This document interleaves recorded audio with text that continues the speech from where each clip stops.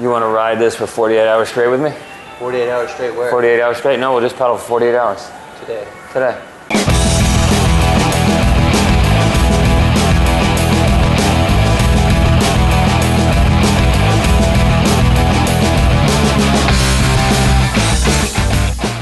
Here we are in the Amee Barn in Pittsfield, Vermont. It's a beautiful day. We've got uh, beautiful people. Uh, we've got Colonel Nye, as beautiful as it gets. Sephra, the lovely, lovely Sephra. We got Joe, who uh, Joe's okay too. Blessings. And, and blessings. And unfortunately, the one that you can't see, who's probably the most beautiful of all, is Marion behind the camera, and uh, she does a wonderful job of making us look as beautiful as she can. Work, does the best with what she's got. So I'm I'm, uh, I'm Johnny Waite. And uh, this interview is actually a special one for me. It's a friend of mine, a guy named uh, Isaiah Vidal. Isaiah is a truly an elite Spartan racer. Uh, you know, um, he's one of the top of the top. And I've watched him really claw his way to get there, like really work hard. He was a strong guy, but he's become a really fast guy too through a lot of hard work. Um, but the cool thing about this, watch this video. I know his um, his story. I hope he gets into it about his personal story, where he came from, and uh, and and why he does this. And um, and then we'll talk about that after. I can't wait. This is Spartan Up Podcast. I'm with Isaiah Vidal, arguably Spartan's greatest racer ever. Some might disagree with that, but I don't know. He's doing pretty well these days. He's eating healthy. He's big on beats. And um, I don't know. Tell us about yourself. You had a pretty uh, cushy upbringing, I heard. You come from a really wealthy background. Wealthy background. No way. I've been poor since I was the day I was born. Really? Yeah. Wait, you, you grew up in Mexico? Where'd you grow up? No, I was born in Odessa, Texas, but you know my family didn't grow up the way I wished it would have been like. But you know I grew up always having to work for what I wanted. Yeah. So Well, you got your your got your, to it. your uh, grandparents have anything to do with the Alamo? No, no, but they did have the uh, to deal with uh, getting all my family to the state of Texas, of course. They got you out of Mexico States. to the U.S. Yeah, I'm the first generation to be here in the states. What'd you What'd your parents do before you? My parents. Yeah. My father was in uh, some bad stuff. Bad business. stuff. Drug car- drug cartel or? Oh no, not drug cartel, but you know he was transporting Got it. um, back in the day. yeah. And then he was living here in the states for like a good majority of, of my of my life for sure, as a ghost, basically an immigrant. And my mother You knew that growing up. uh, didn't know until I was about the age of ten. Got it. And uh, Was it exciting? Didn't uh, doesn't a young kid want to follow in his dad's footsteps? no, I actually wanted to change that because what happened was my dad got in a really bad car accident at the age of 25. I wasn't in the story yet. On his way back from New York, he was in his truck, long bed. He was coming back from New York, going through Houston, Texas, picked up a hitchhiker, and uh, gave the hitchhiker a ride. As my dad's driving over this huge and humongous bridge in Houston, the guy pulls a knife on him, and tells him to get out. Well, my dad, he had a lot of balls back in the day. He's like, you're gonna, you're gonna stab me, because the guy went in to reach to stab him. And the guy, once my dad realized, like, all right, he's about to stab me, that goes over 95 miles an hour. He was gonna crash into this 18 wheeler. He's like, my dad's at the time, he's like, it's not the 18 wheeler's fault. So he just drives straight off the bridge, crosses two other bridges. Last thing he sees is holding onto the wheel, seeing this guy being shredded into pieces through the glass shield. Wow. Last thing my dad remembers is holding onto the wheel, hit the ground. That's all he remembers. Truck looked like an L, is what the emergency people said. He had to be airlifted through plates to the Houston hospital. Was in coma for two weeks. My grandparents didn't have enough money to to uh, keep him alive. They were gonna pull the plug on him, basically. My dad's wife at the time, his brother. This was not your mom. No, I wasn't even in the story. My mother wasn't even in the story either. Uh, my dad's wife at the time, brother, pitched in the extra money to keep him alive for another week. Wow. Woke up three days later. Wow. Now he's got screws in his back and he can't work. Uh, he's and then he was he living in the states. And going back backtracking to to, to today um, about when I was 18, I went to that big downfall in my life because my dad got deported. But he was gonna get deported either or. Like he was supposed to show up to, for court like back in the 19 something. You know, I was probably like five years old. He didn't show up to court uh, for because he knew he was going to get deported either or. So we ran from Odessa, Texas to Marble Falls, Texas. Lived there for 10 years, and then my 18th birthday, two days before my 18th birthday, my dad's cutting grass at a freaking bank. Bank alarm goes off. Cops show up, wondering what's going on. My dad's, my little sister's to my dad at the time. Next thing you know, uh, the cops show up. They ask for my dad's ID because he was getting, he was trying to get money to take me out to on my birthday. And sure enough, you know, they found his record, got sentenced for five years in jail, got out in a year and a half, got deported back to Mexico. Wow. So now he's over there. And, and mom? Mom, she's back in Austin with a new boyfriend, which is, I mean, whatever makes her happy, I'm grateful. I got a new little sister. You know, it's it's phenomenal, man. I mean, to me, it, it, whatever makes her happy makes me happy. That's just part of life, right? We all want to be happy, but But how do, how do you come out of something like that and stay positive? Like most kids might go off the rails and start drinking or. I wanted to. I talked to my grandfather. He's about 80 years old. I think I thank God every day that he's alive still. But you know, I sit down with this old man. I ask him, Grandpa, what's one thing in your life you would change? When, when did you ask him this? What age? This this was about 17 years old. You know, like right before. Not it was actually after my dad got deported, and uh, this is one of the time like I sat down with him and just asked Grandpa, if there's one thing in life you would change, what would it be? He's like, Isaiah, I'm old. In Spanish, of course. He's saying all in Spanish, so I asked him, he starts telling me, I'm old now. I wish I had a boat. I wish I had everything. But now I'm leaving it to you guys. And it made me cry in that moment, but it made me realize I have a legacy to carry. So whatever I do, my kids have to live by that standard. So I'm doing whatever it takes to build that resume so far up it's impossible for any of my children before my children. Of course, I want my children's children's children to be anything that I've ever done in my life. You want to set a bar. I want to set a bar, Yeah. and that's exactly what I've been doing. That's great. What I'm interested though is how does that happen from, I mean, you could see if a guy came from, or a woman came from a decent household where all the stuff you just described didn't happen. Right. It's amazing when it comes from a household that you just described, right? How do, how do you flip the switch and say, I don't want to go that way? Right. So my parent, I was a big downfall. I had uh, in high school. I grew up playing sports. My mom did it to for me and my brother to have an outlet. So you're asking like how was I living this like secret life almost, watching having having to be careful of what I do because my dad's a wanted, not a, a wanted criminal, I guess I would say. Well, they're just not But- giving, they're- you're not getting like the, the best guidance. Right.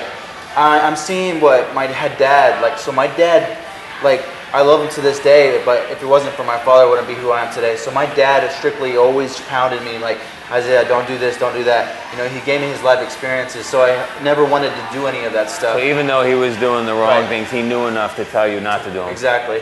And you know that was way in the past, like stuff before I even was born. You know, he stopped doing it like I would say five, seven years after I was born. He stopped dealing with that type of s- business. Or we'll call it dirty money. And back in the day, of course. Um, but what made me like never go to that was because he always strictly told me it's bad. Don't do it. it. It'll lead you to who I am today. You know, all screwed it up. You know, he always like stressed that on me. So it made me like wonder like what if I did something completely different? What if I did something way better than my dad could ever thought was possible? My grandparents, my mom. You know, I, at the time my mom was the only supporting woman of the household. She busted her butt every day, putting food on the table for everybody under the roof. So I knew that one day, like, I need to be better than my mom, better than just her. You know, don't get me wrong, my mom was supporting us, but she was just a, the bus driver. Like, I could never see myself with a with a job working from five in the morning all the way to six in the afternoon. I never saw myself doing that, so I started portraying myself to be something greater, doing striving for something better each day after that. So I started working out. My brother, one day, I was eating Twinkies, playing video games. I was uh, 12 years old. My brother saw me doing this. Older brother. He's 11 months older than me. And uh, it just took that day when he told me, Isaiah, you're such a fat ass. You're just playing video games all day, eating Twinkies and oatmeal cream pies. I'm like, heck no, I'm not going to prove to him, not only him, but my mom and dad, that I can do something way better. And ever since then, I started getting off my ass, just started running, you know, started doing sports, soccer, football, made me the animal that I am today. I started doing Insanity with Sha- of Shaun T, you know, Yeah. P90X with Tony Horton. Yeah, yeah. Started doing all that crazy stuff, becoming this crazy athlete, doing all these workouts. And, Little fe- did- and feeling good. yeah, feeling good.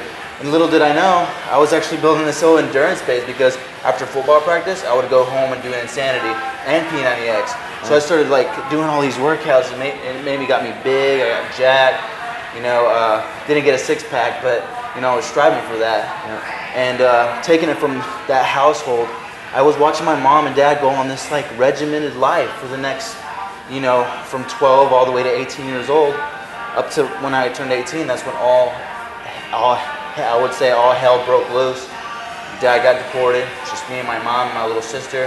My brother already went off, you know, doing his own thing, and I was just there at home all day. You know, I would go to go to uh, school, go to college, do that, and I caught, I started catching myself on this routine. Like, what is you know, school's good, of course, but you know, I may not be educationally successful today, but I am physically. So, going from that point when I was in my life, I was like, Isaiah, you're, so many people told me because I found the Spartan race in 2011 of December when we did the first world championship.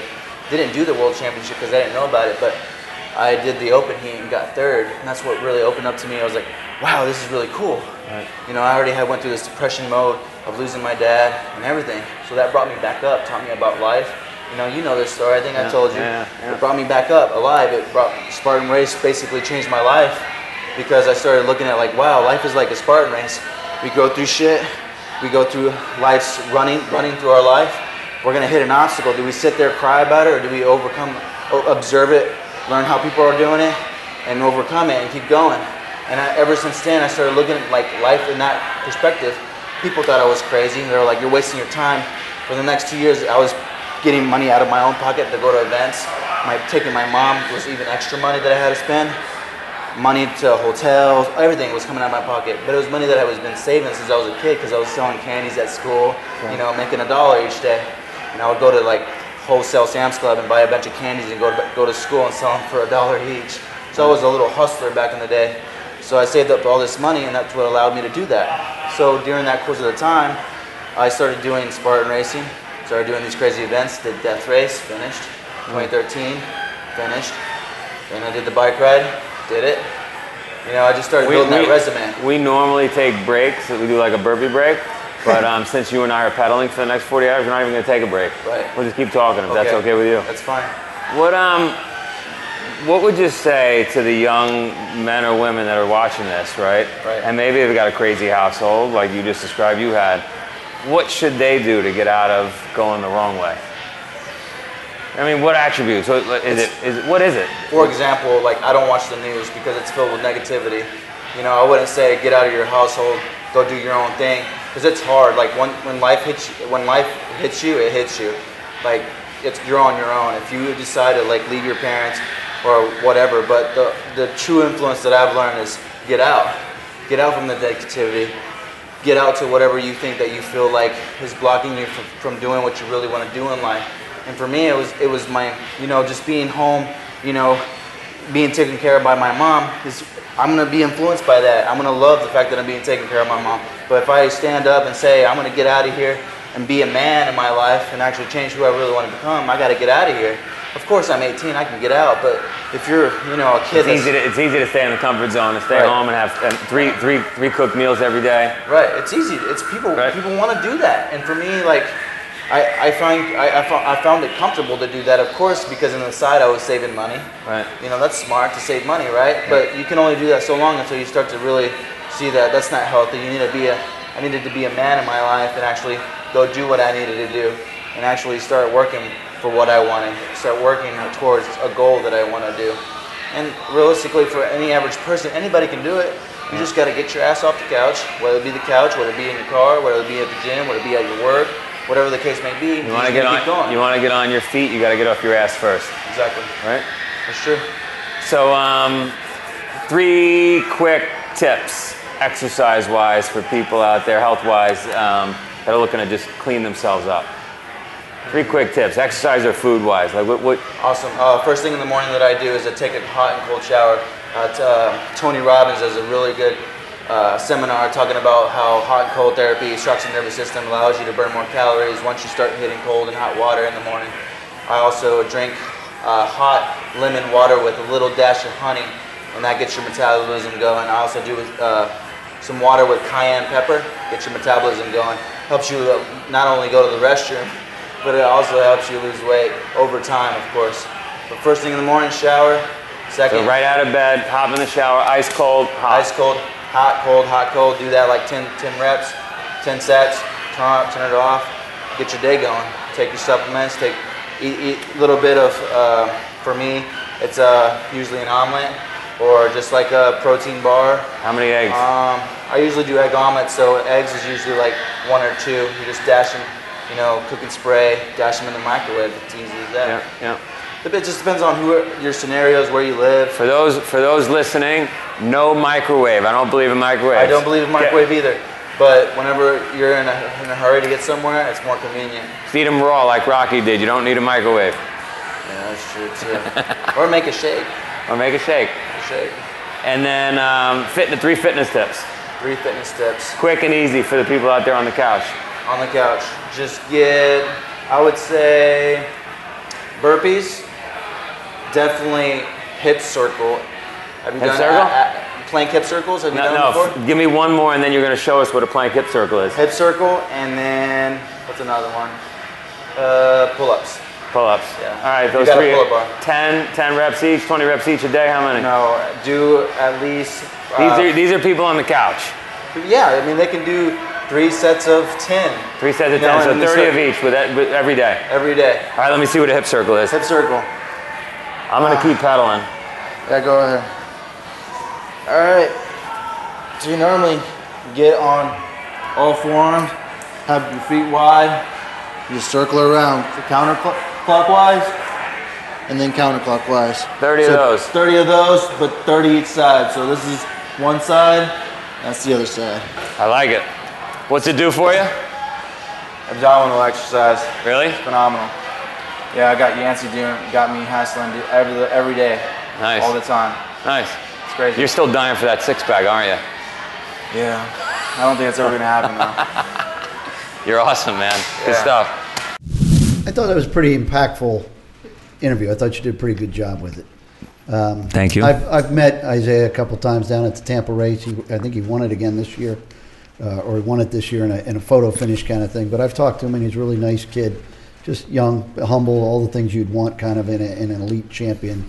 Uh, so when you start talking to him, and he's it's just riding the bike, and he starts talking about his family and his background and his father and uh, being a, a, an illegal alien or, or a visitor or ghost or whatever terms you want to use, and then you know his father uh, getting deported and all.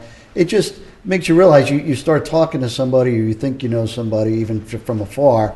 You don't really know what else is going on behind and all the challenges and obstacles somebody overcomes. And this this young man, and that's what he is, has had to deal with an awful lot in his life. Not unlike a lot of people in his position, but I mean he's done it and he's managed to also so he's dealing with all that and then carved out this career that he you know and has become an elite person in in the field that he's chosen and he seemingly has done it all with a with very good sense of humility.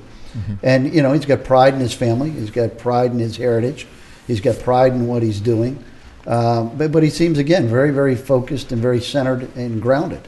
Uh, you know I just thought he was a, a pretty remarkable uh, interview. I wasn't happy the fact that he doesn't watch the news because there's negativity on it. That may be a little bit too much. I think you got to pay attention to what's going on in the world, especially what's going on around you. But I tell you, I thought a pretty remarkable kid. So I was going to say two sort of behind the scenes things with Isaiah. I was really fortunate. I was working at a race in Mexico when he came down, and it was the first time he'd seen his dad in I don't know how long, like in a long, long, long time, like years and years. And his dad took a bus the entire breadth of Mexico to come over and re-meet Isaiah. Basically, they'd been in touch on the phone and stuff, but, and he actually watched him race. And that was a really cool experience for Isaiah to be able to be this good at something that he got to go and perform on a stage that his dad would. So that was really cool to see. But the other thing is, um, his current commitment to the sport is incredible. Like in the last year, he's gone way, way up the rankings. But what a lot of people don't get is he's just he's kind of devoted everything to this. Like he's essentially living out of his car. Um, traveling across country, race to race to race. Um, he's got lots of great friends in the sport, so he's had some places to stay and things. But he's really d- devoted himself to this, and I think that's pretty pretty remarkable. And he's just he's a youngster. yeah, he's, he's, still got it. 21 years old. Yeah, he's still got he's still got a long way to go. Yeah, yeah. So, um, pretty pretty amazing from that standpoint. You, you know him, and you've um, uh, what what do you attribute his recent success to? What would you, You know, say? it's a lot of the things we talked about. Um, don't say no. Don't necessarily say yes to everything, but don't say no. And he's um, he's open for pretty much anything Mm-hmm. if it's you know healthy and uh, has integrity or whatever. He's he's in. Yeah. He he doesn't say no. You're like riding his bike from Texas to the beach. Yeah, I said, hey, you want to jump on a bike? It'll get you, in shape," and he, and he does it. Moving out to Colorado to train, he does it. But Yeah, but you're you're a mentor, master to him, you know, and he's a sponge. So I mean, you, you know, you're in a position that he he sees what you've done, and again, you've you've walked the walk and done all those things. So if you say something to him like that, I mean, you've got his attention. But there's, Which is a, a I mean, but yeah, there's a lot of there's a lot of young guys, and, and um, listen, I don't know, uh, I don't know a lot. So, but there's a lot of young guys that don't listen. They have their own uh, Oh, ways sure. of doing things, and but but he's smart enough to know. Again, you, you've got to look for people who've done something, who've already Sure. accomplished, who do things better than you do. Yeah. You know, and you've got to, as we talked earlier, try to emulate them, right? So he's smart enough. Forget age, but he's already smart enough to know. Okay, there's the model. How do I become the model? I, th- I think back to uh, one of the recent interviews with Bart Yasso, and he said that you have to have inspiration plus execution. And if you're providing the inspiration, you know, you're saying, "Hey, here's something you could do." He's got I- the execution. I've watched so many guys come through this town that you've tried to inspire and tried to help, and just watch them not take it, and they Yeah. leave with their tail between their legs because they're not going to do it. Yeah. So it really is both. I mean, it's awesome that he has this opportunity in this sport with a mentor, with people around him who are offering him opportunities.